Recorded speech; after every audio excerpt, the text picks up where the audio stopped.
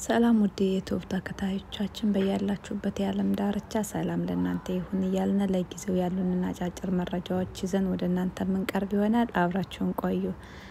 በአብይ እና በኤርትራ መንግስት መካከል ያለው ውጥረት እየከረረ መሄዱን ምንጮች ያስረዳሉ።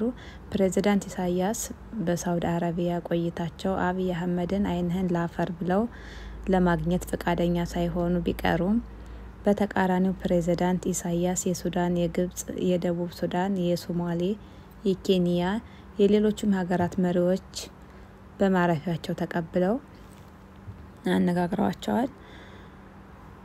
በዚህም የተበሳጨው አብይ አህመድ ስብሰባውን አቋርጦ ወደ ኢትዮጵያ በሌሊት መመለሱ ታውቋል።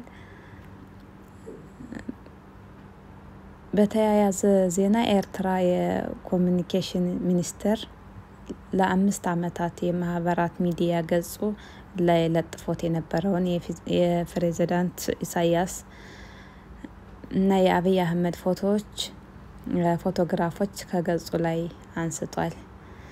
ለጊዜው ያሉን አጫጭር መረጃዎች እነዚህ ናቸው። አብራችሁን ስለነበራችሁ